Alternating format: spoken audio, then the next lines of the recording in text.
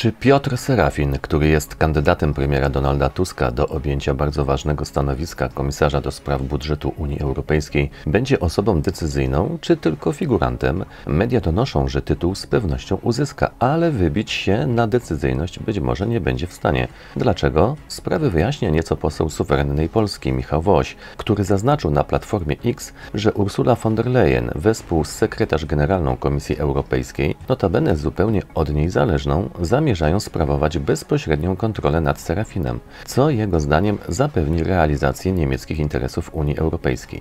Ścisła kontrola nad polskim komisarzem Piotrem Serafinem, a plan niemieckiej przewodniczącej daje bezpośredni nadzór w sprawie projektu budżetu jej samej i sekretarz generalnej Komisji Europejskiej, która jest urzędniczką całkowicie zależną od von der Leyen. W dokumencie, który widzieliśmy, przewidziane jest stworzenie komitetu sterującego, w którym oprócz Serafina będą wspomniane dwie osoby, napisał Michał Woś na Platformie X.